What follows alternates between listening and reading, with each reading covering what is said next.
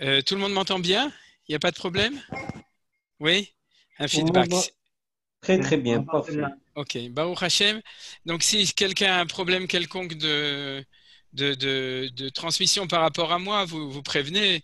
Ou bien, ou bien vous pouvez aussi envoyer d'ailleurs un chat si vous savez faire ça, un texte. Johan, encore une question. Est-ce que c'est toi qui, qui enregistre? Ça y est, l'enregistrement est parti. Ok, d'accord, très bien. D'accord, très bien. Besséder Ergamour. Donc, euh, on y va.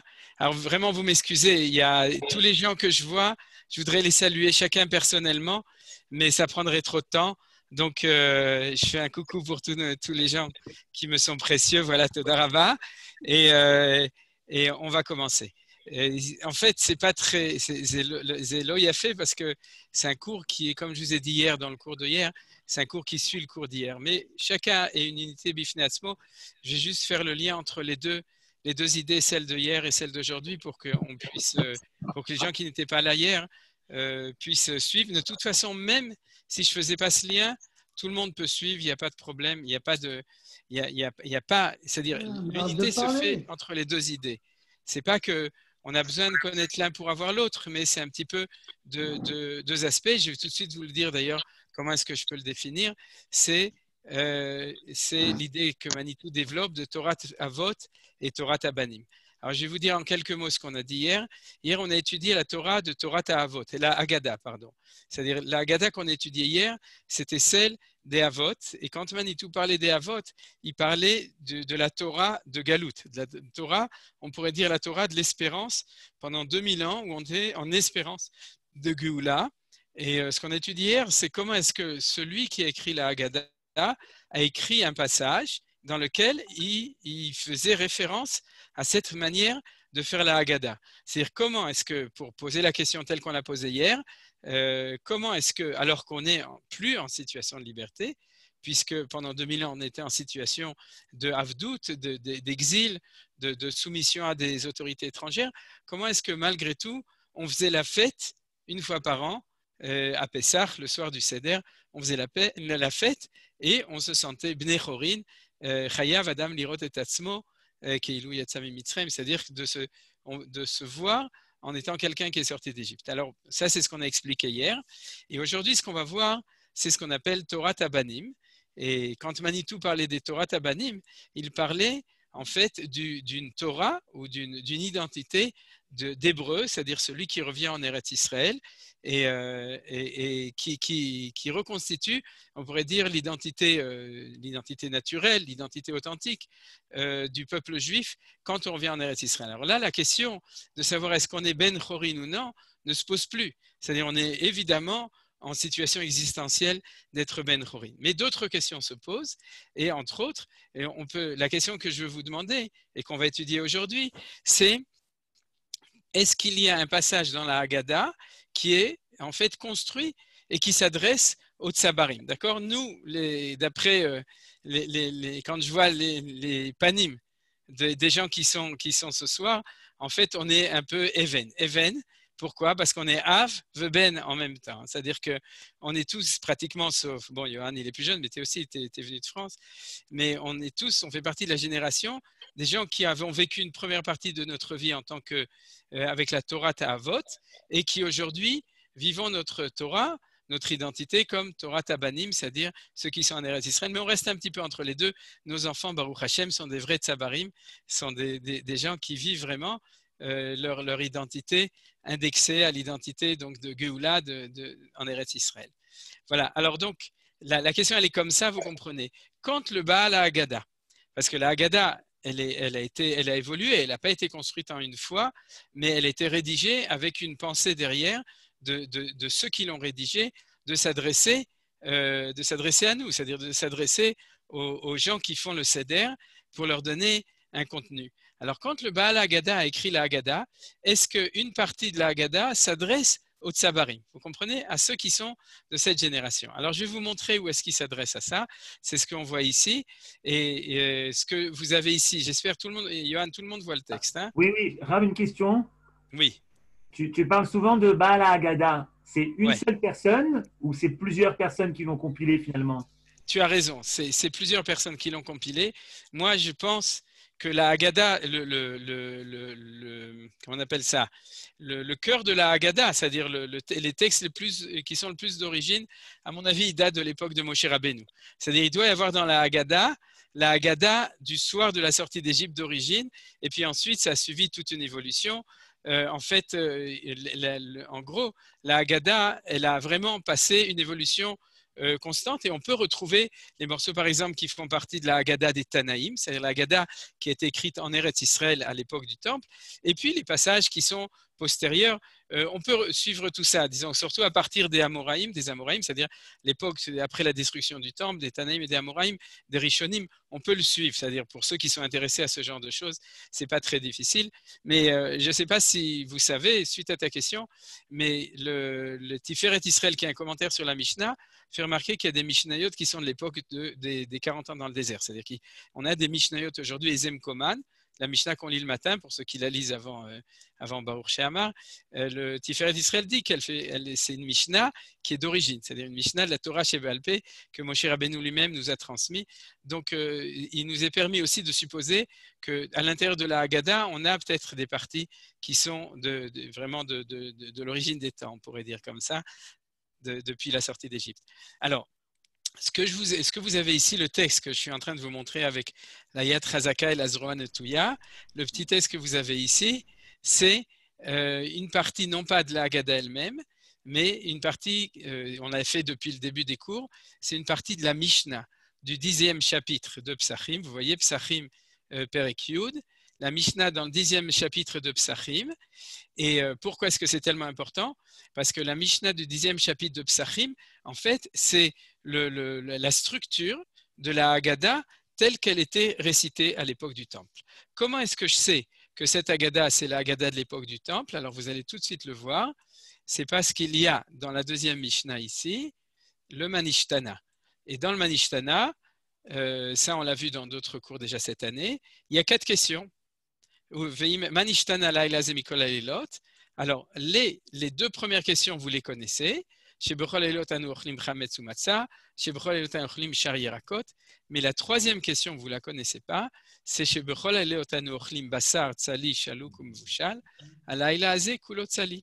C'est-à-dire que dans, dans le Manishtana de la Mishnah, l'enfant demande pourquoi toutes les nuits on mange de la viande grillée, euh, bouillie, ou bien cuite.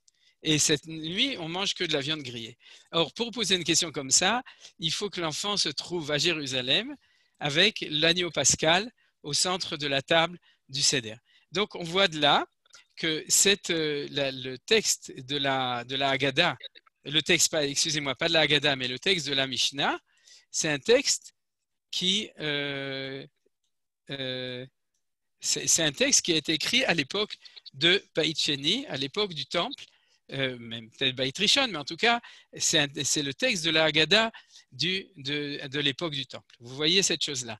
Et alors donc, on va voir maintenant que grâce à cela, on a à l'intérieur de la Haggadah une partie qui a été euh, conçue pour des Bnei Israël, des Hébreux, qui se trouvent le soir du Seder, à la table du Seder, euh, qui se trouve à une table du Seder avec le Korban Pessar. C'est en situation, en tout cas à Baït Sheni, de relative liberté, Baït Rishon de plus grande liberté, mais en tout cas en Eretz Israël. Euh, donc euh, voilà. Maintenant, ça va nous permettre, vous allez voir, de remarquer une grande différence, à part cette petite différence sur le Manishtana, de voir un texte qui va nous, nous, montrer dans notre Agada cette chose-là, mais en même temps, il va aussi nous montrer une différence. Alors, ce texte-là, c'est ça que je voulais vous dire, c'est que dans toute, dans toute la Haggadah qu'on a, la Haggadah a évolué et euh, elle ceux qui l'ont, merci Johan, ceux qui l'ont rédigé au fur des, années, au, euh, au, cours des temps, au, fur, au cours des temps, ils l'ont rédigé en pensant à donner un contenu pour les différentes générations, c'est-à-dire les générations en Eretz Israël et les générations ensuite quand on était en situation de galoute. C'est ça qu'on a vu hier. Aujourd'hui, on va voir la Haggadah Eretz Israël. C'est la Haggadah du Tzabar, ce que j'ai appelé la Haggadah du cinquième fils, parce que le cinquième fils, c'est celui qui habite en Eretz Israël. Alors donc, euh, euh, on va voir ça ici. Euh, il, y a, en fait deux, lignes, et c'est important justement de, bien les, voir. Et une fois qu'on aura vu ces lignes et que vous aurez intégré, on va ouvrir, le, on va ouvrir la, la Haggadah elle-même, et aussi on va ouvrir le texte qui est cité ici pour bien comprendre de quoi on parle. À regardez, le texte ici dans la, dans la, dans la Mishnah dit Vedoresh me'arami oved avi ad sheigmor C'est-à-dire qu'il faut que le, maître, euh, c'est-à-dire le, père, ou celui qui dirige le seder, il doit être Doresh. Doresh, ça veut dire faire un midrash. Vous comprenez, c'est pas Doresh dans le sens hébreu moderne. Doresh, Ani Doresh Mimrash te demande, mais ceci dit, on va en parler. Il va faire une drasha ou un midrash sur le texte qui s'appelle Arami Ovedavi, qui est dans Dvarim, chapitre 26, verset 5, et on va l'ouvrir tout de suite. Je l'ai prévu comme texte qu'on va pouvoir regarder. jusqu'à ce qu'il termine toute la paracha de Arami Ovedavi. Alors, c'est quoi cette paracha? C'est la paracha des Bikurim. C'est la paracha dans laquelle on raconte que quand quelqu'un a des, fruits, hein, il a un champ où il a plutôt des vergers avec des fruits, des sept sortes de fruits d'Eretz Israël, les premiers fruits, les prémices de son champ, il doit les amener à Jérusalem, les amener au Beth Amikdash, se présenter devant le Kohen et à ce moment-là, il doit lire une déclaration qui s'appelle Mikra Bikurim, la déclaration des Bikurim, et c'est ça qu'on voit dans la Haggadah. Alors, si vous voulez, on va tout de suite passer au, texte dans la Haggadah et on va voir ça. Alors, où est-ce que c'est? C'est ici. Euh, pour être sûr qu'il n'y a pas de problème. Le texte? Oui, vous le voyez, hein? Quoi? Euh, tout le monde le voit? C'est comme vous êtes tous en silence. Oui, euh, oui. Oui, Nadine, tu vois bien hein? Oui, oui, oui. Oui, très bien. Il n'y a, pas de problème. Alors, ce, passage, tout le monde connaît de la Haggadah, vous vous souvenez, il y a marqué Arami, Midrash Arami Ovedavi, vous voyez dans le titre de la manière dont je l'ai, euh, je l'ai photocopié, c'est toujours la même Haggadah que j'utilise qui est une Haggadah en deux pages. Donc le Midrash Arami Ovedavi, Manichim Akos, on repose le verre parce qu'on continue, Magalim Amatzot, parce qu'on continue dans la Haggadah. Alors comme euh, j'ai l'habitude de dire, c'est en général quand on arrive à ce moment-là, c'est le moment où on passe en, il y a, quelqu'un qui commence à perdre patience et qui commence à dire maintenant il faut passer en cinquième vitesse parce que c'est la gada du cinquième fils. Donc c'est pour ça qu'il faut passer Ilur Hamishi. Et il dit euh, euh, commence à accélérer parce que on commence à avoir faim. Alors donc du coup, on a moins l'habitude et de l'expliquer et de le, et de le comprendre on lit, on lit, on lit, on se dépêche de finir. Et puis quand on arrive à Dayenu, on recommence à chanter un petit peu. Et à, part ça, on met le sang. Vous vous souvenez d'Anne, Svarde, Akinim, etc. Les 10 gouttes de, vin, pas de sang. Il faut faire attention. Il y a des gens qui nous écoutent après avec euh, les histoires de, sang. On est en danger. Alors pas nous. Mais euh, donc on met les 10 gouttes de vin sur les 10 plaies. Mais ça commence à partir de là. Manichim, Megalim, Amatzot et on rentre. Alors ce qu'on va voir ce soir, c'est que ce passage, c'est la Haggadah d'Eretz Israël, c'est-à-dire la Haggadah du Tsabar, la Haggadah des Banim, dans le langage de Manitou, c'est la Haggadah qui s'adresse à la génération de nos enfants. C'est-à-dire elle a été écrite à l'époque du deuxième temple ou du premier temple, mais pour nous c'est très important parce qu'elle s'adresse à nos enfants. Alors, si vous voulez, on va faire une toute petite analyse euh, rapide, c'est-à-dire que ce qu'on a vu dans la Mishnah, c'est que ce que fait le Baal Agada, alors de nouveau là maintenant, le Baal Agada, c'est un monsieur euh, inconnu, ça peut être dans ce cas-là, en tout cas c'est une personne qui l'a rédigé, qu'est-ce qu'elle fait? Elle prend, ça c'est l'introduction, Tseulman, c'est l'introduction, et ensuite elle, nous prend le Mikra Bikurim, c'est-à-dire les versets de Bikurim, et elle est Doresh et Totam. Ça veut dire quoi être, Faire un midrash? Attendez, je vais un tout petit peu plus. Voilà, je le mets comme ça, il faut juste que, que je vois les choses. Euh, qu'est-ce, que, qu'est-ce que ça veut dire un midrash? C'est qu'on prend le verset et ensuite on prend chaque petit morceau du verset et on le commente. C'est ça un midrash. Un midrash, c'est une explication sur la Torah. Alors regardez comment ça marche. Arami Ovedavi, ça c'était avant. On apprend de ça que la vanne bikesh la akor et takol. C'est-à-dire que euh, Arami, c'est la vanne Arami. Oved, il a voulu faire disparaître Avi, mon père, qui c'était mon père, c'était Yaakov, parce qu'il a décidé de tuer, il voulait en fait faire exterminer Yaakov, ses femmes et ses enfants quand il les poursuit au moment où Yaakov décide de rentrer à la maison en Eretz Israël. Vous vous souvenez, c'est juste avant la frontière. Euh, Lavan poursuit Yaakov et si Dieu ne l'avait pas arrêté en lui disant fais attention de ne pas toucher à Yaakov, d'après le Midrash, c'est pas marqué dans la Torah, d'après le Midrash, son intention c'est de c'était de faire une Shoah, une extermination totale. Alors là, c'est la dracha, le Midrash sur Arami Ovedavi. Ensuite, sur les mots Vayered Mitzrayma, c'est marqué là, Vayered Mitzrayma nous salpiadibur, Vayagor Sham, ça suit ici, mais la met chez le Avinu Mitzrayim, et là la Gour Sham chez Neymar, et on amène un pasouk pour nous dire Vayagor Sham que quand Yaakov est descendu en Égypte, il n'avait pas l'intention de s'installer, c'est-à-dire la chevette, mais il voulait être chassid gour. Vous savez pourquoi chassid gour? Parce qu'il voulait que être gour, la gour ba'ares banou. Vous voyez, donc il voulait être, il voulait s'installer temporairement. La différence entre la chevette, c'est s'installer, euh, s'installer, et la gour, c'est vivre de manière temporaire. donc c'est ça le midrash, c'est qu'il est descendu en Égypte, Vaya Gorsham, c'est-à-dire qu'il est descendu là-bas non pas pour s'installer, se construire une belle maison, mais pour vivre de manière, euh, de manière, comment on dit ça euh... Sédentaire. Non, c'est le contraire de sédentaire. Passagère. Passagère. voilà, passagère. Voilà. Euh, temporaire, passagère, etc. Et le Midrash. Pardon? Séjourner, ça s'appelle. Voilà, séjourner, exactement. Et euh, donc, euh, donc euh, c'est le Midrash sur les mots Vayagor Sham. Elle fait remarquer que c'est Vayagor et pas Vayashev. Bim temeat, pas beaucoup, comme Beshivim, Nefesh, comme il y a marqué qu'on est descendu en Égypte, on n'était pas beaucoup puisqu'on était 70 âmes. Vaisham le Goy, alors après il y a un commentaire dessus, un Midrash, Gadol Veatsum, on est devenu un peuple très grand, comme il y a marqué, vous connaissez le pasuk, ou venez Israël parou, vaishretsu verbu veyatsmu bimod meod, alea aretzotam, et c'est ce verset qu'on apprend que chaque femme a eu six enfants, puisqu'il y a marqué parou 1, vaishretsu 2, vairbu 3, vayatsmu 4, bimod 5, meod 6. Vous connaissez ce midrash, on l'apprend de là, verav, etc.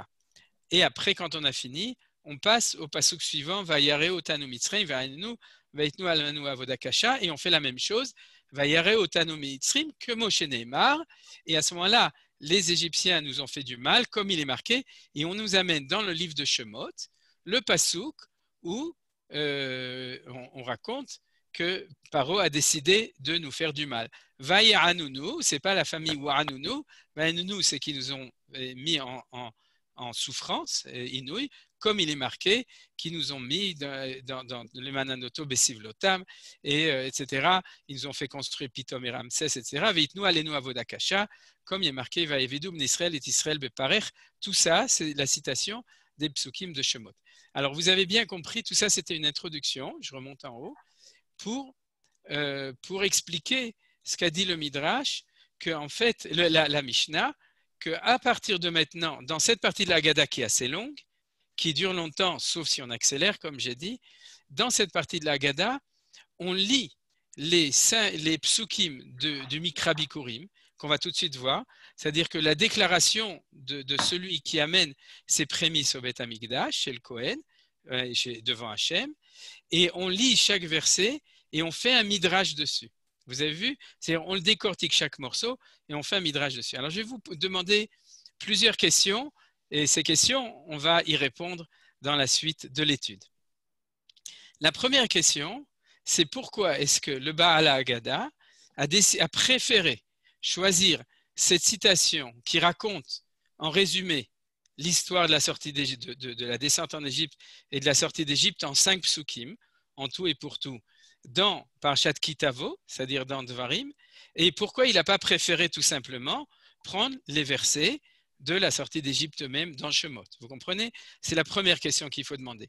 Pourquoi? On l'a vu dans la Mishnah, Vedoresh, il faut faire un midrash sur Arami Ovedavi.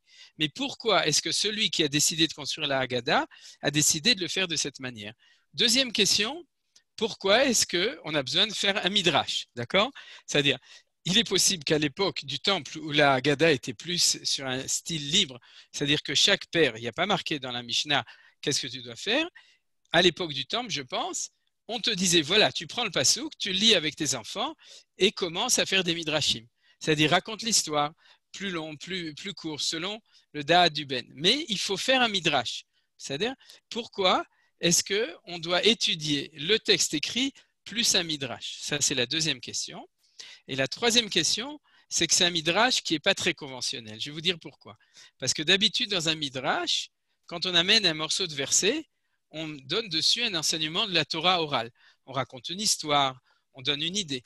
Et là, la plupart des midrashim, c'est de prendre un petit morceau de ces versets-là et de mettre, de les expliquer en amenant un, verset entier de la sortie d'Égypte. C'est pour ça que j'ai tout de suite fait le deuxième verset. Regardez dans le deuxième verset, c'est tout simplement, ils prennent Vairotanu Amitzrim, Kmoshenemar, et on fait copy-paste de Shemot. Vous voyez, on amène le pasouk de Shemot qui nous raconte comment est-ce qu'ils ont fait du mal. Vaya Anenu, copy-paste, Kmoshenemar, et on amène encore un verset percutant de, la, de, Shemot qui nous raconte ce qui s'est passé dans ce mot-là. Vaitnu alinu vodakasha, la même chose. Si vous voulez passer au suivant, le troisième verset, Vanitza, kel Hashem Eloke avotenu, Vaishma Hashem Elokeinu ve'are tonienu, ve'tamalenu ve'tlachatzenu. C'est Dieu, nous avons crié, imploré Hachem, le Dieu de nos pères, il a entendu notre voix, il a vu notre souffrance et notre amalenu, c'est-à-dire aussi notre souffrance, et notre pression.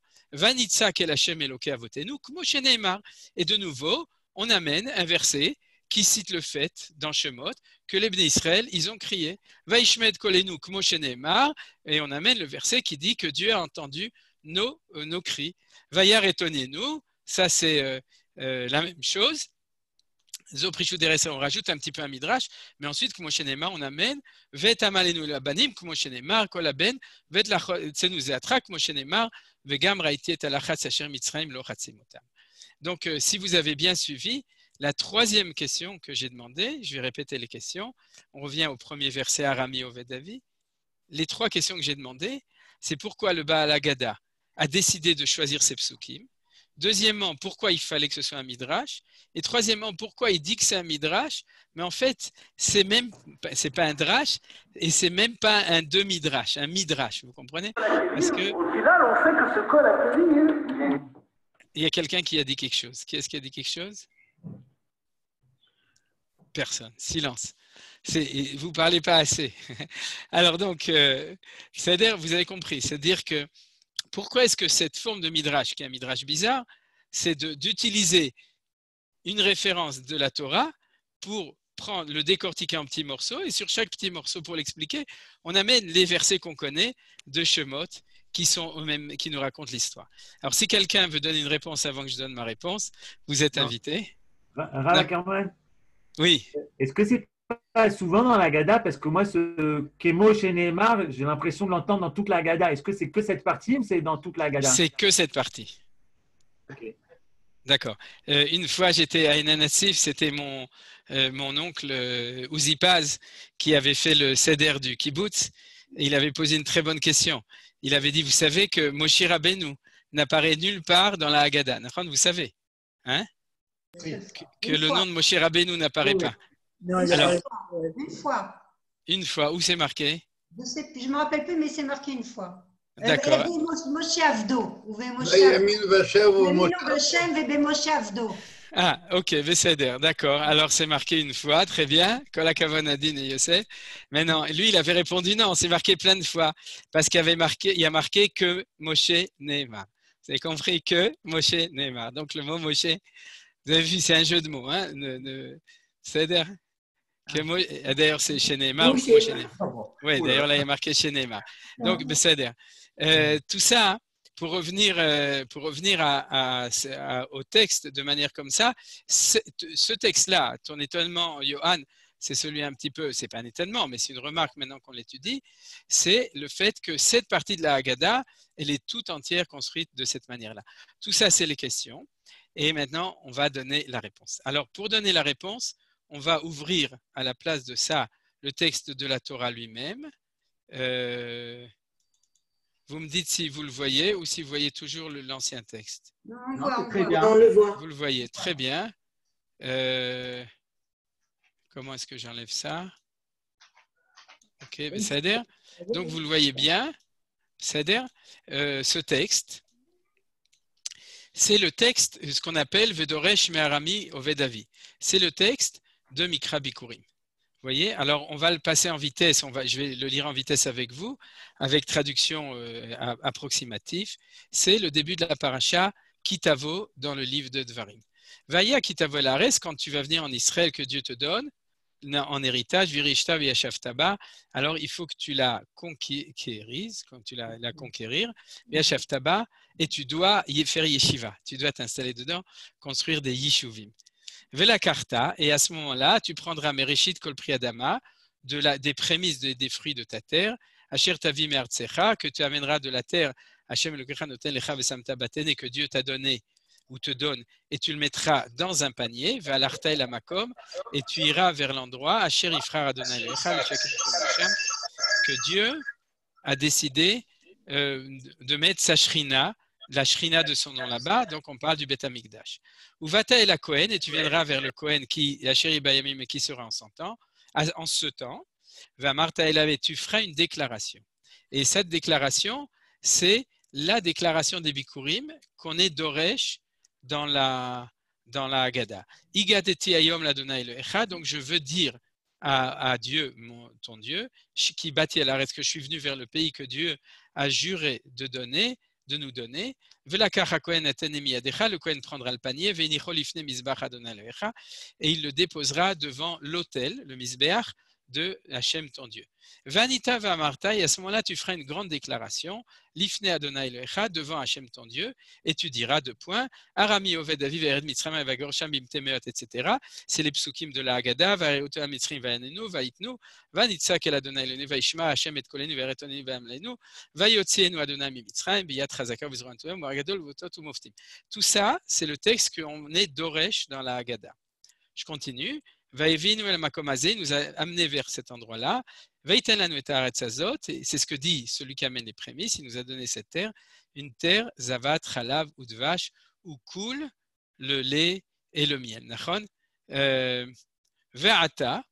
et maintenant, Priadama, j'ai amené les prémices des fruits de ma terre, Asher natatali Adonai, que toi, Dieu, tu m'as donné, Ve'inarto, et tu déposeras le panier, Lifne Adonai Elohecha, devant Dieu, ton Dieu, Ve'ishtahaveta, et tu vas te prosterner devant Hachem, ton Dieu. Vesamarta bechol atov, et tu te réjouiras de tout le bien, Asher natan lecha Adonai ulvetecha, que Hachem, ton Dieu, t'a donné à ta maisonnée, à ta, toi et le Lévi, guerre et l'étranger, Asher Bekirbecha, qui est avec toi. Voilà, tout ça, c'est la parasha de Mikra Bikurim. Alors, je reprends la question. Pourquoi est-ce que le Baal Agada a décidé que maintenant, dans cette partie de la Haggadah, le cœur de la Haggadah, de cette partie de la Haggadah, ça va être le Mikra Bikurim, cette chose-là. Vous avez compris? Alors, je vais vous donner immédiatement la réponse, le début de la réponse, et puis euh, on va développer, et grâce à ça, on va répondre aussi à toutes les questions que j'ai posées au début. Euh, la réponse, elle est très simple. Il y a une expression en hébreu qui dit Ma sheroim mikan, loroim misham. Ce qu'on voit d'ici, on ne le voit pas de là-bas. Ici, en ce moment, on voit tous presque la même chose, mais c'est vrai qu'il y en a qui sont Cham, il y en a qui sont Cannes. Quand on est en, en France, c'était, comme disait Manitou, le French, French Can Can.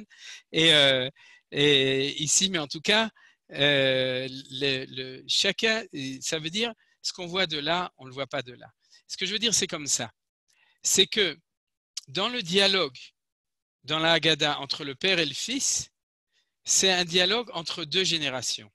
C'est un dialogue entre le père qui sort d'Égypte et le fils qui est né en Eretz Israël. Et chacun regarde les choses tout à fait différemment. C'est marqué clairement dans le texte de Shemot.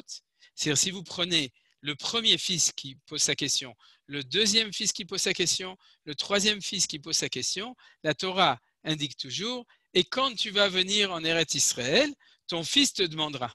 Vous comprenez? Parce que l'interrogation du fils, c'est de dire, toi, tu vois les choses comme celui qui était en galoute et qui est sorti de galoute éventuellement, mais moi, je vois les choses comme celui qui habite en Eretz Israël et qui regarde vers le passé. Toi, tu regardes vers le futur, toi le Père, Tu étais dans, la Emouna du futur, et moi j'y suis, je le vis, et je suis en train, ou bien je ne regarde pas forcément vers le passé, mais en tout cas, si je m'adresse à toi, c'est que je voudrais que tu m'expliques, c'est-à-dire regarder vers le passé. Donc, en fait, si on parle d'une focalisation, focus, en, en ivrite, c'est-à-dire les, ce que je veux dire, c'est comme ça, c'est que ce texte du Mikra Bikurim, c'est la Haggadah du fils qui est en Eretz Israël et qui lui demande de sa position, de celui qui habite déjà ici, explique-moi mon père. Oui, si on a de la chance, il le demande, mais en tout cas, où Akadosh Baruch nous dit, il s'adresse à lui et lui dit, je vais t'expliquer ce qui s'est passé avant. Donc, même si on est assis ensemble à la, table du CEDER, l'un en face de l'autre, on n'est pas au niveau géographique, on est à deux mètres d'intervalle, parce qu'à cause de la Magefa, il faut faire attention aux distances, c'est Lishmor Mechak, mais au niveau des générations, on est à 30 ans d'intervalle, à 40 ans d'intervalle ou à 50 ans d'intervalle entre lui et nous, vous comprenez? On n'est pas du tout dans la même position. Et quand la Torah nous parle de la question du Fils, elle nous parle de la question du Fils comme l'explique Manitou. C'est-à-dire celui qui regarde, qui habite en Eretz Israël et qui a son regard vers, vers l'histoire en arrière et qui veut comprendre. Et cette Agada, c'est la Agada qui s'adresse à lui. Et c'est pour ça que le Baal Agada a décidé de prendre ce texte et pas de prendre le texte de Shemot, parce que le texte de Shemot, c'est le texte de celui qui est sorti d'Égypte. Et celui-là, c'est le texte de celui qui habite en Eretz Israël. C'est pour ça que je l'ai traduit en vitesse.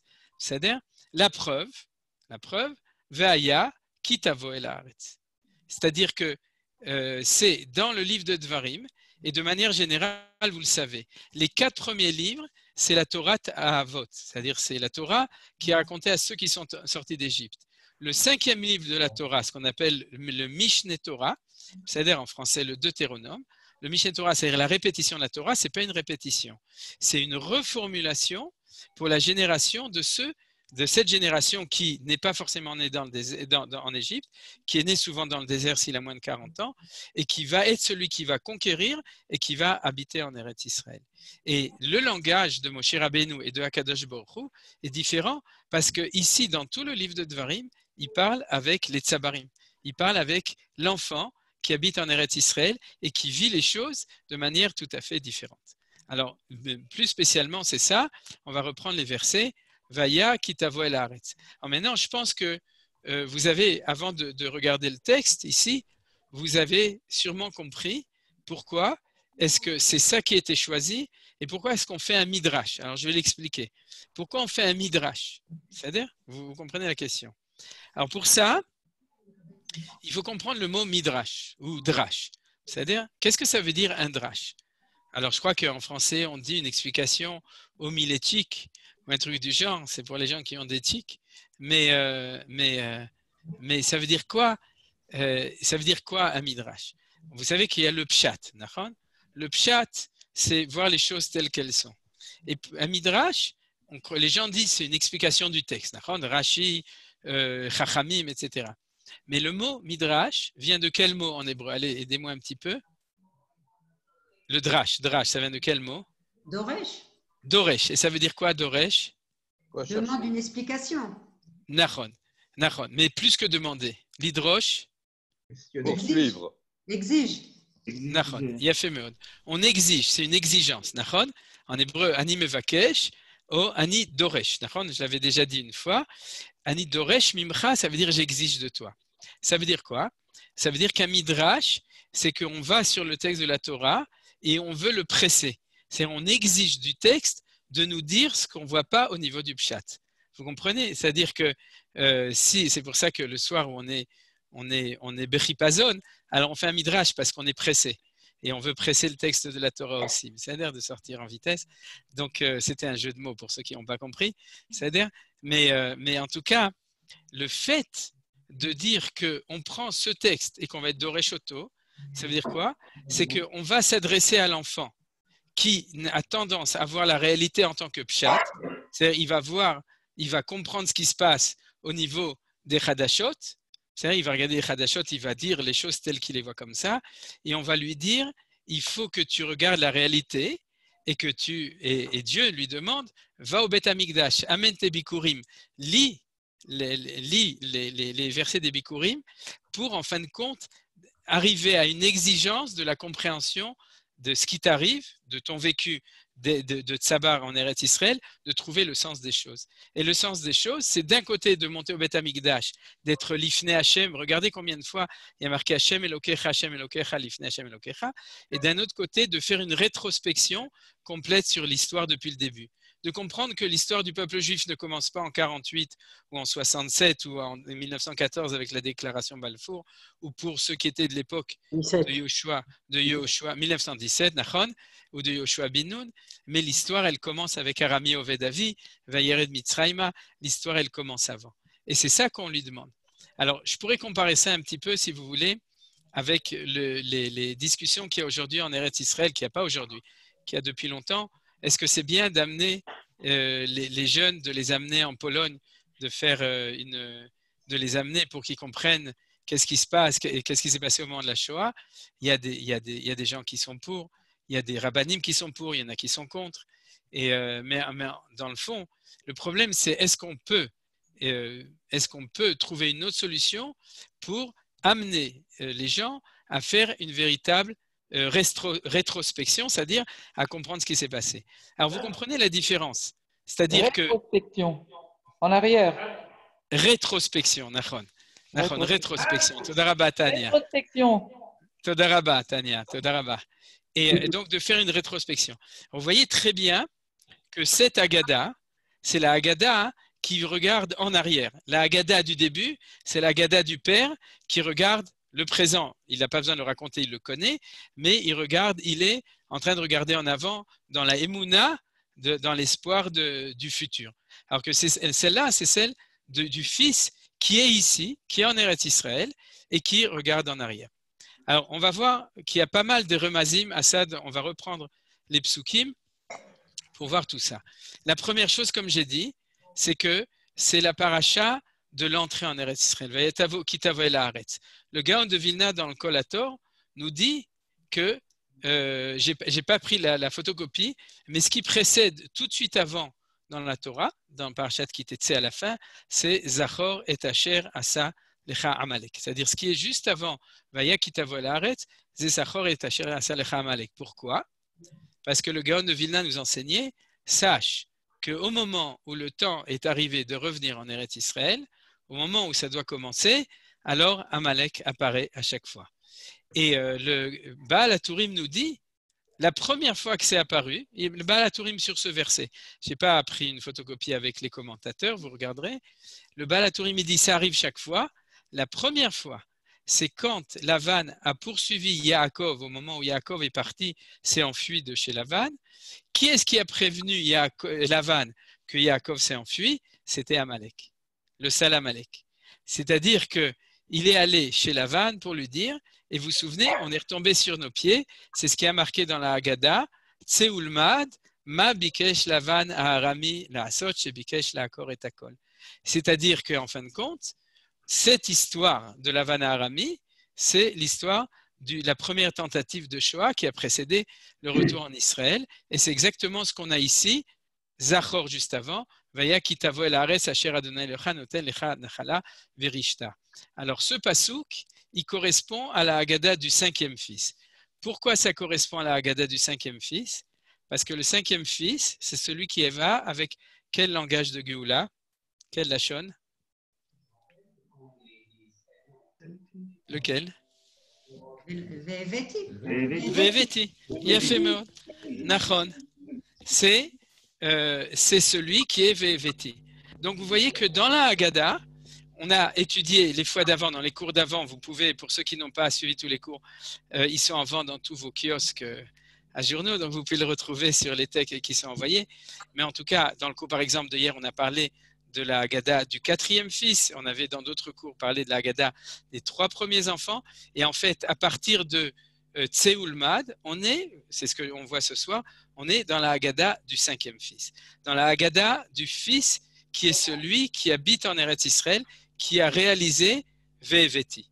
Et vous allez le voir tout de suite, c'est clair dans le texte. Vaya la ares, donc c'est Veveti Hashem Virishta Taba, donc on est vraiment en situation.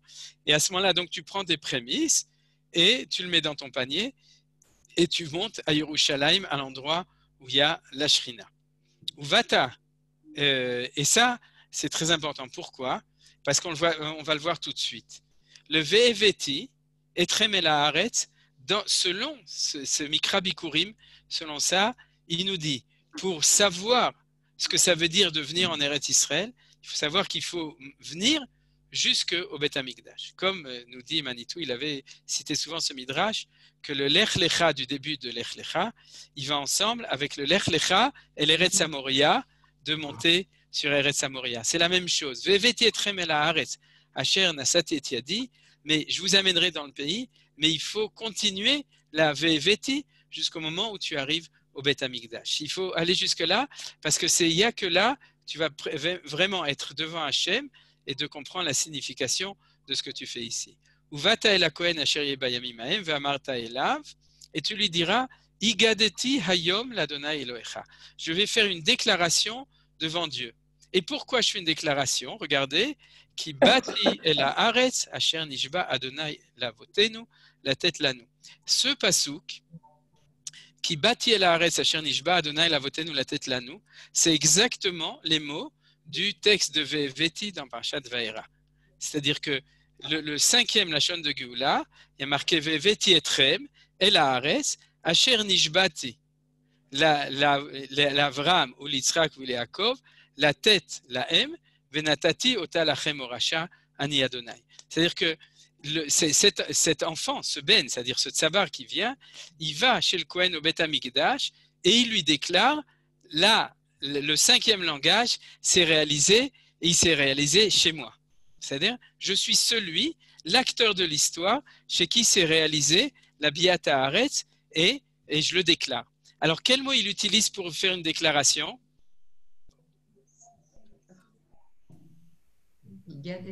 Igadeti. Ça vous rappelle quelque chose? Agada. La Agada, exactement. Kolakavod. Kolakavod à tous qui l'ont. Vous avez vu, vraiment, vous êtes des super talmidés chachamim. Donc, euh, la Agada. Ça veut dire quoi? Ça veut dire que c'est marqué ici dans la Torah que ce passage, c'est une Agada. Vous avez compris? Où est-ce que le mot Agada apparaît dans la Torah? Alors, vous savez pourquoi il y a quatre fils dans la Agada Quelqu'un sait? C'est à cause de Lucky Luke. Pourquoi? Parce que Agada, Agada, voilà les Dalton. Et comme il y avait quatre Dalton, alors c'est pour ça qu'il y a quatre fils dans la Agada. Alors on peut continuer avec quelque chose de plus sérieux. Igadeti Ayom, le mot Agada, où est-ce qu'il apparaît? Il apparaît ici. Il apparaît encore, je vais vous citer quatre endroits. Un endroit où il apparaît, c'est véritablement chez le Sheino de Alishol. Levincha bayom aulemo. C'est-à-dire, c'est le passage qu'on connaît où on cite le mot Agada. Si, tu, si on demandait à n'importe qui qui connaît le Chumash où est-ce qu'il y a marqué le mot Agada à propos de l'Agada, il va nous citer le verset de Vegata Levincha. Mais en fait, il y a celui-là aussi. Et pourquoi le mot, j'en profite entre parenthèses pour dire, pourquoi la Agada s'appelle Agada et pourquoi elle ne s'appelle pas Sipur Yetziat Mitzrayim, Amirat Yetziat Mitzrayim, Dibur Yetziat Mitzrayim, vous comprenez? Pourquoi est-ce que la Torah elle-même a utilisé le mot Agada? Alors pour ça, on va étudier encore un verset. Le verset en plus qu'on va étudier, c'est celui du, au moment du don de la Torah où il y a marqué Kotomar le Bet Yaakov Vetaged Israël. Pourquoi ce verset? Parce que c'est là que Rachid nous explique ce que signifie le mot Agada, en quoi les est différent de les morts ou les daber. C'est-à-dire il y a euh, chaque parole a un sens au niveau du sens de cette, euh, de cette manière de dire les choses. Alors, comment est-ce que Rachid dit là-bas? Bien entendu, je vous cite les choses par oral parce qu'on ne peut pas photocopier toutes les sources, mais euh, j'espère que vous suivez. Il y a marqué Kotomar le Bet Yaakov et Taged l'Ibne Israël, et les Chachamim ont dit Bet Yaakov, c'est les femmes. Ça vous étonne pas, Nachod, Bet Yaakov, c'est des institutions pour les jeunes filles. Donc, Kotomar le Bet Yaakov, ainsi tu vas dire à Bet Yaakov, Vetaged Israël, et tu vas être ma guide au Bnei Israël, c'est aux hommes. C'est-à-dire les femmes, Bet Yaakov, il faut Amira, et les hommes, ta guide, il faut une Agada. Et les Chachamim nous disent comme ça. L'Amira, c'est Belashon Raka. C'est un, un langage qui est doux. Parce que pour- quand on veut expliquer, euh, on a fait un cours il n'y a pas longtemps grâce à Rina et d'autres aux questions sur, la, sur, le, sur, le, sur le, fé- le- le féminisme euh, dans la Torah à propos des, des- des- de la mitzvah tzitzit. Et, euh, mais, mais là, euh, une des questions qui est toujours, c'est est-ce que la Gemara, dans la Torah chez Baal Pé, il y a la place pour tout le monde, mais est-ce que la Gemara, c'est un langage de Torah qui est bien pour les femmes? Et la réponse est un petit peu dans ce passouk, c'est-à-dire que l'approche féminine est une approche de Amira. C'est-à-dire il faut que la Torah soit douce, il faut qu'elle soit euh, littéraire, romantique, belle, etc. Alors que l'approche masculine, c'est une approche cartésienne, euh, on pourrait dire structurelle des choses, et c'est ça qu'on appelle Agada. C'est-à-dire, et comment est-ce que les Chachamim le traduisent? Dvarim, Akashim, Kegidin. Guidin, c'est des, des tendons. C'est-à-dire, vous savez que le tendon, c'est une partie qui est extrêmement dure dans le, dans le corps. Et euh, igad, igadeta, c'est-à-dire tu dois l'enseigner dans une manière, dans une forme qui est kashim kegidim, c'est-à-dire tu dois être sérieux. C'est comme ça et c'est pas comme ça, et etc. Ce qu'on appelle la loi, c'est-à-dire la structure, la loi. Veigata, euh, l'ivne Israël, c'est-à-dire là, on est dans une autre dialectique masculin-féminin. C'est-à-dire avec toutes les nuances de tout ça, il y a des hommes qui sont plus féminins, il y a des femmes qui sont plus masculines, etc. Donc on ne va pas rentrer dans le, dans le thème, dans ce sujet, ce n'est pas le sujet. Mais en tout cas, on va revenir. Pourquoi la Haggadah s'appelle Haggadah? C'est ici qu'on va le comprendre, dans ce mot. Pourquoi? Parce que, en fin de compte, quand on est en, situation Géoula, on peut dire les choses comme elles sont.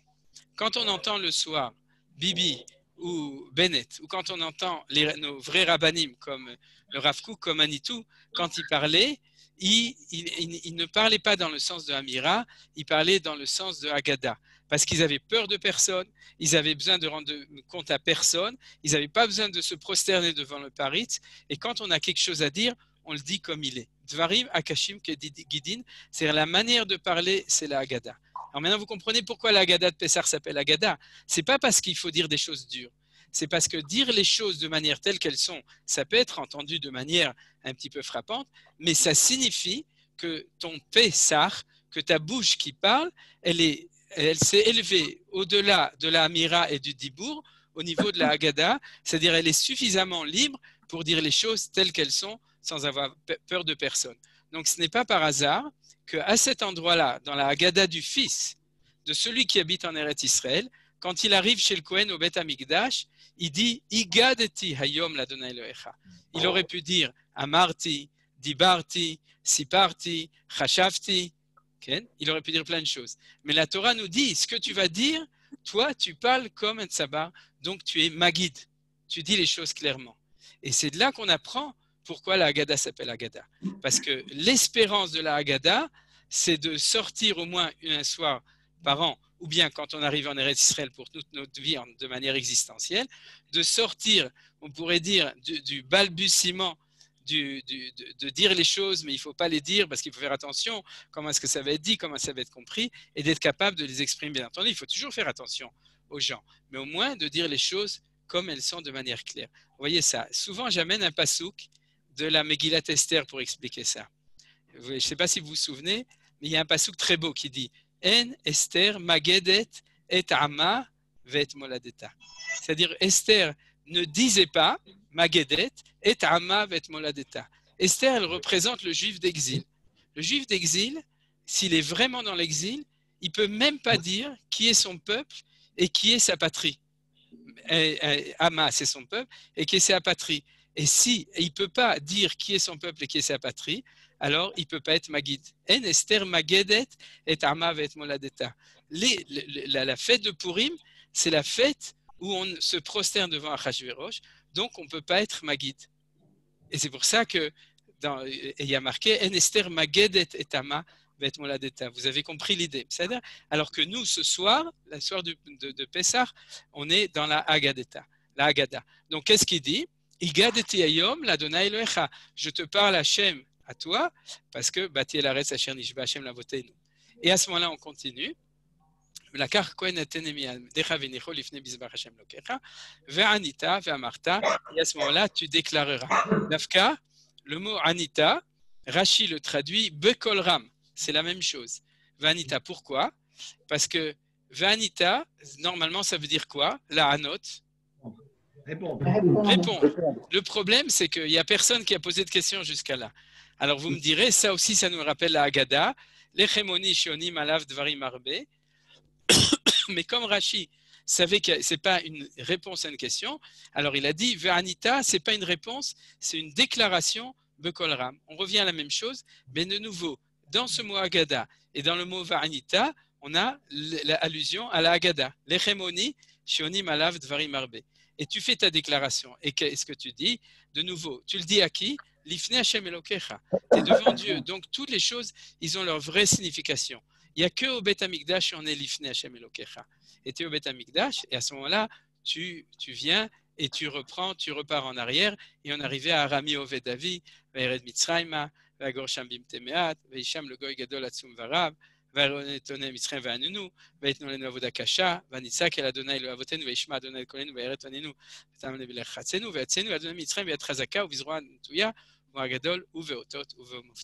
voilà, ça c'est les quatre versets.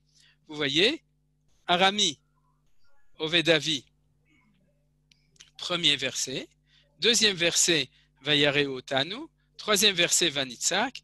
Et quatrième verset, donc, on est descendu en Égypte, on a souffert en Égypte, et Dieu nous a sorti, Beyat Razaka, etc., Muftim, et c'est ça qu'on étudie. Alors maintenant, vous avez compris pourquoi, de quoi on parle. Le père doit être Doresh à son fils pour extraire de ce texte, qui est celui que le fils comprend, parce que c'est le vécu du tsabar qui est ici, mais il faut lui montrer ce qui a marqué dedans. Il faut l'aider à comprendre qu'est-ce que ça veut dire d'habiter en Eretz Israël, d'avoir sa terre, d'avoir ses fruits et de monter au Beth Amikdash. Même au Beth Amikdash, c'est pas sûr qu'on comprend. C'est-à-dire si on n'a pas la vraie dimension de comprendre où ça a commencé depuis le début, etc., on peut aussi rater le coche. Et, euh, et donc c'est pour ça que la Torah nous oblige à ce moment-là. Alors vous me direz pourquoi est-ce que Dafka dans la mitzvah des Bikurim, alors est-ce que quelqu'un voit le lien entre la mitzvah des Bikurim et la sortie d'Égypte? Le printemps le printemps, il a fait. Très bien. Qu'est-ce qui a dit ça? C'est Marcel? Non, j'ai pas vu. Irène. Ah, c'est Irène. Il a fait. J'ai pas vu. C'est D'accord. Donc je vois pas. Je peux pas voir tout le monde, sinon on voit pas le texte. Mais euh, mais c'est Donc euh, parce que en fait, euh, la création, elle était en exil pendant l'hiver. Ouais. Ah, Quand les gens ne portent pas de fruits, ils sont en exil. Ah, il a fait. Ça, c'est Yael, Nahon? Oui. C'est derrière. Mazal Tov pour ta première année de mariage en Eretz Israël. Donc, euh, et puis bon, alors on continue. Donc, euh, toi et, ton mari, Kamouvan. Euh, donc, Nahon, Bediouk. C'est une très belle explication ce que tu dis. C'est-à-dire qu'en fin de compte, les Bikurim, c'est notre printemps. On prend les premiers, les premières, les premiers fruits et il y a fait C'est une très belle explication. Et ça, ça, ça, va bien avec le fait qu'on fait Birkat Ilanot maintenant. Parce qu'on dit que la création, elle est partie en exil avec la faute d'Adam Arishon. Il a fait, il a fait. Et qu'elle revient. Il a fait Voilà. Maintenant, euh, très très bien. Alors, la deuxième explication que je veux vous dire, c'est que Bikurim, c'est la même racine que Bechorot. Bechorim. Effectivement. C'est-à-dire qu'en fin de compte, Akadosh Baruch aurait pu nous demander de lire, faire cette déclaration euh, quand on monte euh, à l'Ia la Régel, euh, à chaque fête. Il aurait pu nous demander de le faire quand on amène le Maaser Sheni à Jérusalem. Il aurait pu nous demander de venir spécialement pour le faire. Pourquoi est-ce qu'on fait cette déclaration annuelle, c'est-à-dire euh, avec les Bikurim Maintenant, vous avez compris. Parce que les Bikurim, ça veut dire que les Bikurim, on l'avait vu, le Bechor, c'est le premier, c'est la source, c'est l'origine, c'est celle qui sort directement de Akadosh Baruch de l'unité de Dieu. Et quand tu amènes tes premiers fruits, c'est l'occasion d'un retour aux sources. C'est-à-dire de ne pas dire je suis né en Israël, je suis de Sabar, à Kol Sababa, c'est-à-dire tout va bien et, euh, euh, et, je ne me pose pas de questions. Non, tu retournes à la Bechora, tu retournes aux sources et tu retournes vraiment à ton identité euh, initiale, primordiale du peuple juif, qui est Beni Bechori Israël, le fait qu'on est le, le C'est-à-dire, alors maintenant, tout ça, ce qu'on a étudié jusqu'à là, s'il n'y a pas de questions, on peut continuer. Est-ce que je prends deux minutes de, de respirer comme ça. Et est-ce que vous avez une question, une remarque? Et après ça, on va passer à la, à la fin, à la conclusion un petit peu de ça. Tu as parlé de, de Dibour, de, de Agada et de Amira. Où, où, se place le Dibour par rapport à la Agada et la Amira? Ah, Elle est juste entre les deux. Oui, je, comprends, mais ça veut dire quoi? Ça veut dire que euh, dans l'Amira, on, on, dit les choses de manière douce. Je ne sais pas comment on traduit ça en français, les nuances. Dans le Dibour, on dit les choses clairement. Et dans le Agada, on les dit de manière euh, de forte. Libre. C'est-à-dire, libre. C'est-à-dire, dans ce cas-là, c'est parce qu'on est libre qu'on peut les dire forte. Des fois, il y a des gens qui disent des agadotes parce qu'ils sont agressifs, c'est-à-dire pas parce qu'ils sont libres. Au contraire, donc c'est pas qu'ils sont libres. Mais la, situation de liberté permet d'être maguide. C'est-à-dire, c'est euh, comme on dit, n'oubliez pas le maguide. Hein. Et, euh, et le guide. Non, c'était quand dans les musées, on n'oubliez pas le guide. C'est-à-dire. Donc, euh, euh, mais euh, vous, avez, vous avez donc suivi cette chose-là. Et, et, maintenant, une, maintenant qu'on a étudié tout ça, il y a un scoop. Quel est le scoop?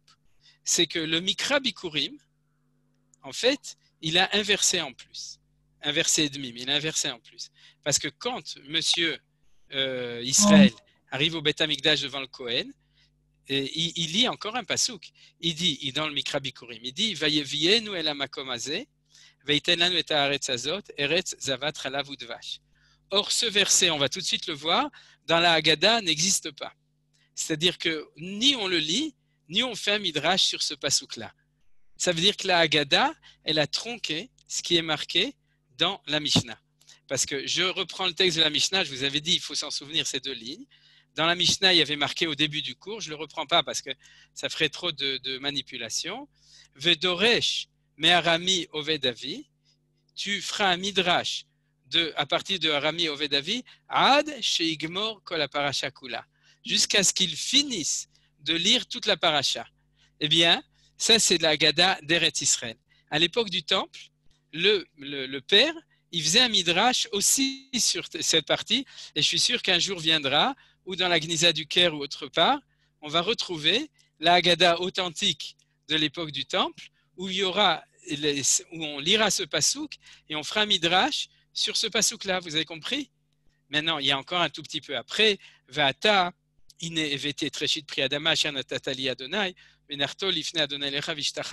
Adonai, ça, ça fait pas partie du Mikra Bikurim dans le sens de l'histoire, c'est le, circonstanciel du fait qu'il amène son panier et qu'il dépose. Ça, on peut imaginer que ça ne fait pas partie de la. Mais ce verset-là, bien entendu, qui fait partie de la. Alors, pourquoi est-ce qu'il n'est pas amené? Pourquoi dans notre Haggadah, ce n'est pas marqué? Parce qu'il n'y a que quatre coupes de vin. Il y a Fémeod. C'est parce qu'on n'est pas tunisien, il n'y a pas Hamza.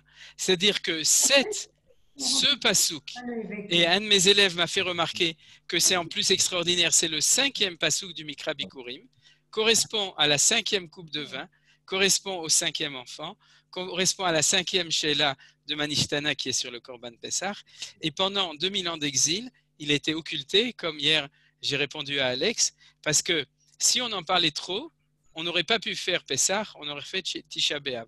C'est-à-dire, si on avait affirmé trop fort que sans Eretz Israël et sans le Beth Amikdash et sans un judaïsme authentique qui a rien, alors on ne pouvait pas faire Pessah.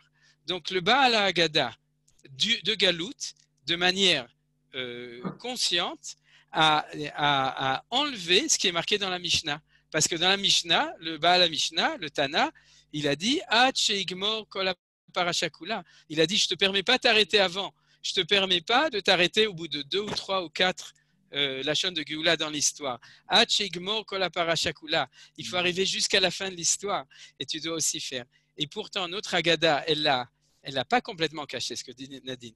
Elle est devenue reshoot. Tu te souviens, le cinquième couple, elle est reshoot.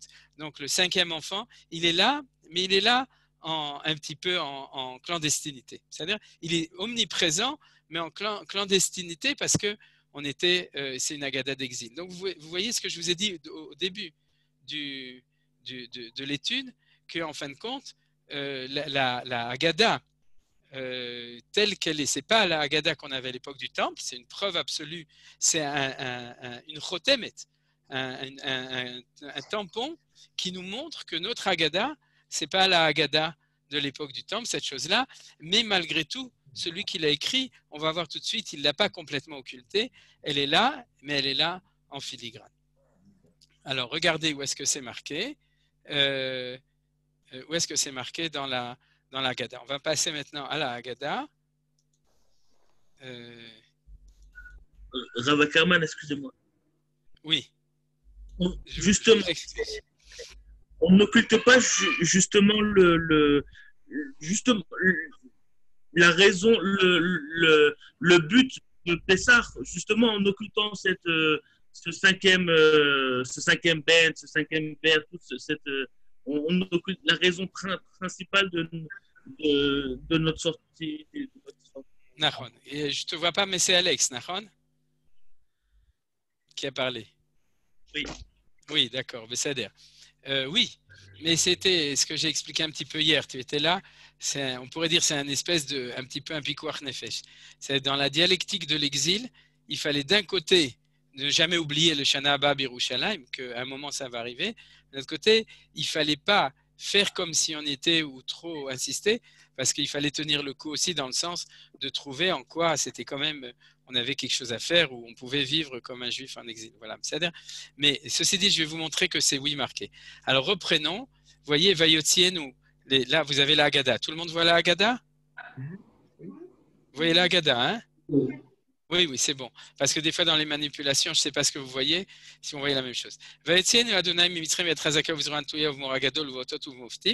C'est le quatrième verset de, du Mikra Bikurim. Et de nouveau, bon là c'est vraiment chez Neymar, va Varti Beretz Mitzrayim de nouveau, va Varti Beretz Mitzrayim, etc. Biyat Razaka, Zoa Dever, et on amène un pasouk de nouveau de Shemot, ou Vizro Antuya Zoa Cherev, comme chez Neymar, Uvmora Gadol Zegilu Ishrina, comme chez Neymar, etc. Uveotot Zeamate, comme chez Neymar, Uvoftim Zeadam, comme chez Neymar, Menatati Moftim, etc. Beyat Time. Et vous voyez qu'on continue dans la dracha de ce verset. Et on arrive au Dimakot, on y est arrivé, c'est-à-dire, mais on est toujours dans la dracha de ce verset, c'est logique. C'est le verset qui nous raconte qu'on est sorti d'Égypte. Alors donc, on fait un midrash, là on commence à continuer, les dix plaies, ensuite Rabbi aussi, euh, Rabbi Ouda a donné des simanim, des tzachadash ba'achab, et ensuite on continue et on, euh, et on nous rajoute que Rabbi aussi Aglili dit, d'où on sait que les Makot, euh, il y en avait 10 en Égypte et 50 sur la mer. Et ensuite, on nous amène Rabbi Lézer qui dit que, euh, que chaque Maca dans Égypte, c'était de 4 Makot.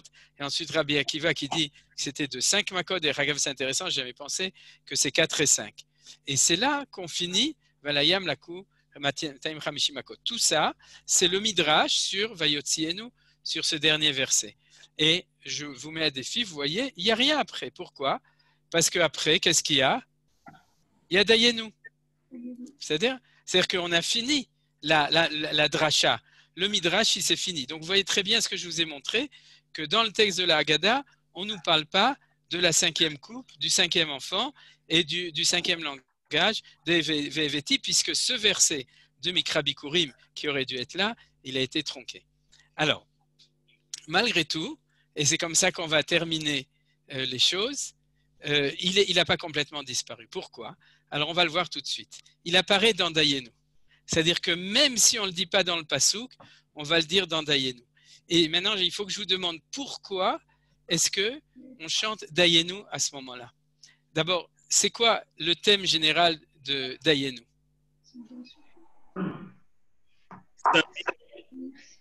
J'ai pas entendu. Akaratatov. Akaratatov, יפה מאוד, גיל, כל הכבוד. דיינו זה להודות להשם. יפה. Il y, a, il y a un écho. Je ne sais pas d'où vient l'écho, mais en tout cas, il y a un écho. Euh, c'est qu'il y, y, a deux personnes qui écoutent avec deux, deux, deux appareils différents, ça fait écho. C'est bon. Maintenant, c'est revenu normalement. Euh, la Akaratatov. De manière extraordinaire, dans le Mikra Bikurim, si vous regardez deux fois, Rashi amène que quand tu amènes tes bikurim, pourquoi est-ce que tu lis tout ça? Mais la chez Eno. Ça nous enseigne qu'on est reconnaissant. Tu as ton champ, tu as tes fruits, alors il faut être akaratatov, il faut akaratatov. Et là, je voudrais dire un point essentiel. Celui qui est euh, le père, il n'est pas en situation de Hakaratatov, il est en situation d'espérance du Tov. C'est-à-dire qu'il est euh, il, doit remercier Hachem pour tout ce qu'il lui a donné. Mais son problème, c'est pas tellement ça. Son problème, c'est de ne pas désespérer. Alors que celui qui est déjà en Eretz Israël, son problème, c'est la Karatatov. C'est évident, vous comprenez? Tu as tout sur un plateau d'argent. C'est pour ça qu'en général, notre génération et la génération surtout de nos, parents, ou pour vous, pour, de mes parents, c'est votre, pour certains, c'est vous-même qui êtes là ce soir, c'est ceux qui disent aux petits-enfants, tu sais, mon petit-fils, il faut dire merci, parce que si tu savais, alors tu serais reconnaissant, vous comprenez? C'est-à-dire que nous, on n'a pas besoin d'un chur de Hakaratatov. C'est les enfants qui ont reçu sur le plateau d'argent, c'est le tsabar, celui qui est ici, il a énormément de mahalot extraordinaires. Il est ici, il vit sur terre, il connaît Akadosh Baruch Hu normalement, Bezrat Hashem, le Bet Amikdash, il a sa terre, il est bien, il n'a pas peur, il est chayal, etc. Son, sa agada à lui, c'est de lui apprendre à avoir un karatatov. Et c'est pour ça qu'on lui dit, tu vas prendre tes fruits. Le Rav Soloveitchik, c'est comme ça qu'il répond à la question, pourquoi on amène le Mikra Bikurim dans, la Haggadah, il dit l'Elamed est à Akaratatov, pour nous enseigner la notion de Akaratatov. Mais si vous voulez, on a dit il y a le père, il y a le fils. Il y a celui qui est en face de l'autre, mais qui a une génération d'intervalle. Chacun a son défi. Chacun a sa question du soir du Seder. Chacun a son problème. Alors celui, le fils, c'est de revenir en arrière, d'être capable de, de s'élever au-dessus du pshat, de presser le pshat, de faire un drash pour voir le fond des choses, de revenir au sens des choses, de monter au Beth Amikdash pour retourner en arrière et comprendre les choses, pour pouvoir avoir la Karatatov. Alors vous comprenez que le Dayenu, c'est la fin de la Haggadah du Tsabar. Parce que c'est, on, dit à celui qui est Tsabar, Arshav Tagit Toda. Et regardez comme c'est beau. Dans Dayenu, il y a combien de fois Dayenu? Allez-y, peut-être que quelqu'un sait. 26 Non, Fisfasta, qui 18 Non, 15. En principe, il y a 15. Je n'ai pas compté, mais le Maharal, il dit qu'il y en a 15, je lui fais confiance. C'est-à-dire, Nagid qu'il y en a 15. Peut-être qu'il y en a 14, mais après, ça s'arrange. Mais en tout cas, on ne pose pas de questions sur le drash. Pourquoi? Parce que comment ça commence? Kama ma'alot tovot la makom alenu. Pourquoi il y a 15 dayenu? Combien il y a de ma'alot dans, le, dans Shira ma'alot? 15. Et keneged ma, par rapport aux 15 escaliers qui montaient vers le Beth Amikdash. Vous savez, jusqu'à Charnikanor, d'Ezrat Nashim à Ezrat Israël. Donc, ce juif qui a amené ses bikurim, ce Israël, ce Tzabar, cet hébreu qui a amené ses bikurim au Beth Amikdash, il monte ses 15 ma'alot. Il monte pour arriver à l'endroit où il y a le Misbeach pour amener ses bikurim. Et à ce moment-là, on peut dire qu'à chaque étage, à chaque mala, il, doit dire Todaraba. C'est-à-dire à chaque étage, à chaque niveau, il monte vers le, vers, le, vers le, vers le là où il va amener ses bikurim. Il a, à chaque mala, il chante un shira ma'alot et il dit Dayenu, il dit Todaraba kama ma'alot tovot la Et alors, si vous regardez, par quoi ça finit? Comment ça finit? Ilu Natan lanu Torah Velo ichnisanu l'Eretz Israël dayenu. Ilu ichnisanu l'Eretz Israël velo banalo en beta prira dayenu. Mais en fait, quand on le remercie, surtout ensemble, on nous dit le karavnu lifner sinai, venatalanu et Torah, vichnisanu l'Eretz Israël, ou vanalanu et beta prira. C'est-à-dire que ici, le dernier pasouk du Mikra Bikurim qui manquait, il est marqué ici. Dans la Karatatov, on nous apprend à remercier non seulement d'arriver jusqu'au la quartier Tremilam qui est et Torah, c'est-à-dire qui est le quatrième langage de Géoula, mais aussi le cinquième langage. Et dans ce cinquième langage, comme je vous ai dit, les Veti, c'est pas seulement Veveti el Haaretz, c'est Gam Veveti el Betamigdash, comme celui qui lit les Bikurim. Et c'est ça le summum de ces 15 niveaux de euh, Akaratatov de Toda chez, euh, chez Eviotanu, El Eret Israël, Vebezrat Hashem, Gam Lanu, pas cette année, mais euh, je crois pas. Hein. Je sais pas si ils vont réussir à construire le Beth Amikdash avec le Seger, bien que maintenant il y a, il y a beaucoup de Koachadam qui est au chômage, mais mais en tout cas, Bezrat Hashem Bekarov, qu'on arrive à cette madriga qui est celle en même temps de la Knesset d'Eretz Israël Veveti, qui a été déjà réalisée depuis euh, l'État d'Israël, mais aussi Binyan Betamikdash, Bimera. Et à ce moment-là, comme on a vu hier, ce qui est marqué ici, euh, dans, la Tfila qui est instituée par Rabbi Akiva, Ken Adonai Elohenu velo avotenu, yagenu le moadim velirgalim acherim, euh, abaim likratenu le shalom, smechim bevinyan irecha vesasim bavodatacha, venochal sham, c'est-à-dire bête amigdash, minazvachim ou minapsachim, asher adamam, al kir mizbachacha leratzon, venedelecha shir chadash, nodev, vous voyez, al geulatenu, val Vedut Nafshenu, et c'est ça la vraie bracha de Baruch Ata Hashem, Gal Israël. Et cette chose-là, vous voyez, et donc je l'ai signalé ici, c'est la fin de cette partie de l'agada puisque après Rabban Gamliel, si vous reprenez la Mishnah, c'est une espèce de, conclusion qui est aussi déjà marquée dans la Mishnah dans la suite. C'est-à-dire qu'ici, on, a fait, on a terminé ce très beau passage qui est notre Agada de notre cinquième fils, qui soulève toutes les dimensions essentielles du vécu en Eretz Israël, de ce qu'on appelle Torah Tabanim, de ce que c'est que d'être un Ben, des interrogations, des difficultés, et en même temps des, des, des extraordinaires de ce fils qui est déjà en Eretz Israël avec son chant, et Bezrat Hashem avec le Bet Amikdash, et Bezrat Hashem, l'Iske Bekarov, qu'on n'a pas un CDR comme celui qu'on va voir cette année, qui sera un petit peu à la panim, mais qui sera plutôt l'Ifne Hashem, on sera tous Vishtachavaita l'Ifne Hashem, on pourra se prosterner l'Ifne Hashem, Bekarov, Amen. Amen. Alors donc, euh, on va faire... On va éviter les salam comme tu as dit, mais avec un grand Dakarat